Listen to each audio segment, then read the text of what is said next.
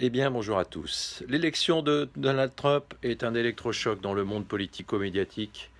Et euh, ce qu'on peut dire, c'est qu'effectivement, c'est d'abord une formidable claque euh, vis-à-vis de l'ensemble des commentateurs, éditorialistes ou euh, bien évidemment sondeurs et, instituts d'études de marché. Nous avons, nous, au groupe La Fond Presse, publié ce livre Donald Trump, Faut-il en avoir peur, qui est paru, qui est actuellement en vente en kiosque Mac Donald Trump, et car nous étions conscients de la formidable montée en puissance du, candidat milliardaire, comme les appellent nos médias euh, français. Trois leçons de ce, scrutin euh, électrochoc qui euh, résonne très fortement aujourd'hui dans les médias.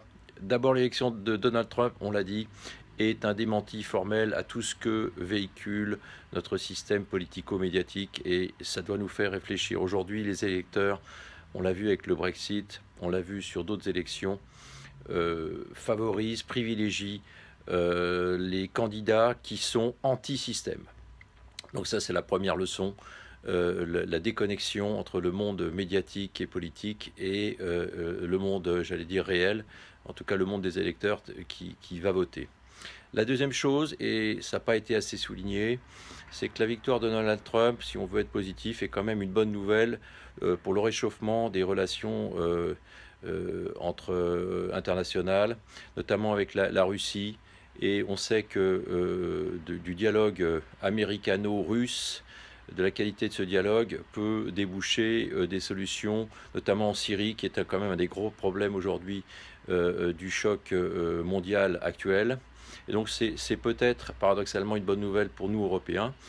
Et la troisième chose, eh bien, c'est le rêve américain qui continue, malgré toutes les outrances verbales et, euh, racistes du candidat Trump. On espère que euh, son arrivée à la Maison Blanche euh, va le permettre de se calmer. On peut lui faire confiance quand même parce que c'est un pragmatique, c'est un entrepreneur, c'est un homme qui a l'habitude, je dirais, de régler un certain nombre de conflits. Euh, et on peut penser que euh, son arrivée à la Maison Blanche va euh, coïncider avec une, nouvelle manière de fonctionner. Trump a été outrancier, ça lui a permis de malheureusement eh bien de gagner, hein, il faut le dire aussi.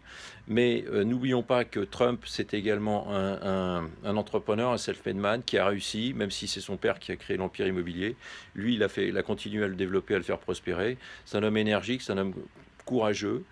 Et euh, ça n'est pas un clown ou simplement un clown, car déjà réussir une campagne comme il l'a fait aux États-Unis, avec toutes les difficultés, et euh, cela suppose quand même une, certaine énergie, une puissance.